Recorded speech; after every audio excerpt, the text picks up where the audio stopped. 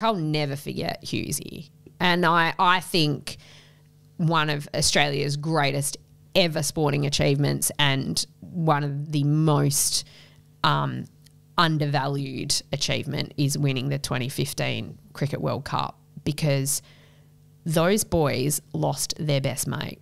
They played against India the whole summer, and the Cricket World Cup came at the end of it. It was one of the most brutal summers you could possibly imagine in any working environment losing a mate like that and have at your workplace Yes. and then showing up to do the same job day after day after day after day for months and then have the you know the full on nature of a World Cup campaign and the pressure of it being on home soil to win that World Cup is astonishing and Australia does not I don't think appreciate it in its entirety the way that it is. Maybe it's the decline of the one day game. I don't know. But what those boys achieved and because I saw it every step of the way I was there. I was at I was standing outside the the hospital hoping that he came through knowing that he wouldn't. I was there watching my mates go in and out. I was at the funeral. I was at every test match. I was at every press conference hearing Virat Kohli talk about how much he also loved Hughesy uh, you know the whole set then doing the World Cup. And so when they win the World Cup and Maxi Glenn Maxwell runs up to me and gives me the biggest hug of all time like you you you live it with them. I'm not, don't get me wrong, I'm not them. I'm not saying that. But I just think as a country, we don't fully comprehend that sporting achievement.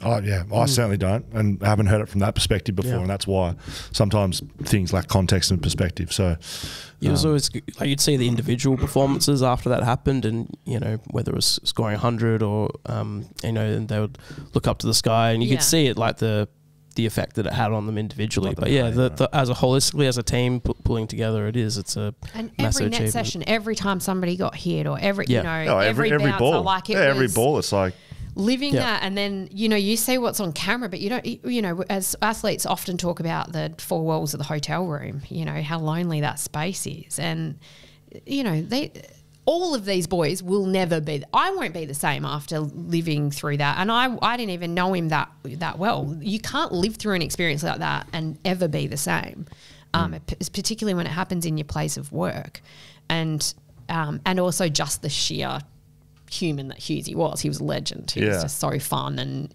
affable, and um, and and that was the other thing that everyone thought he was their best mate.